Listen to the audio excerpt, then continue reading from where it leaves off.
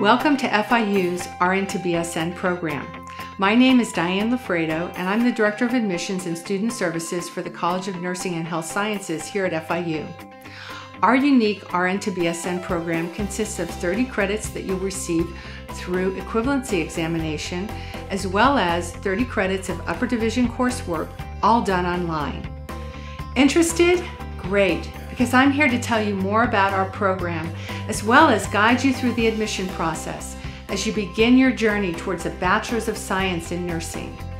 To begin with, we hope you'll attend one of our many RN to BSN information sessions, where you'll learn all about the curriculum and admission requirements.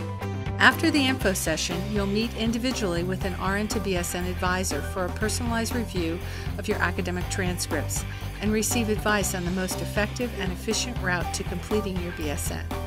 After deciding on the best strategy for your individual situation, you'll begin the process of applying to the university and the college.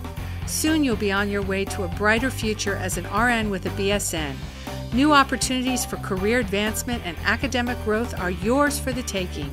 Why Florida International University? FIU's RN to BSN program is CCNE accredited and approved by the Florida Board of Nursing.